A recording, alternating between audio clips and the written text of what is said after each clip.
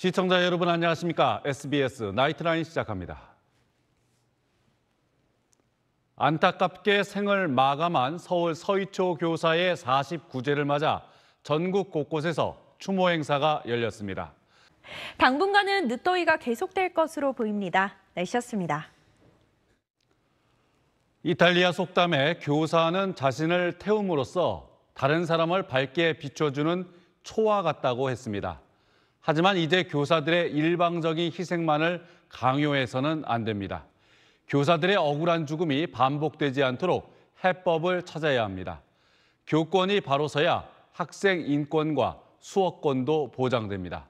나이트라이 마칩니다. 고맙습니다.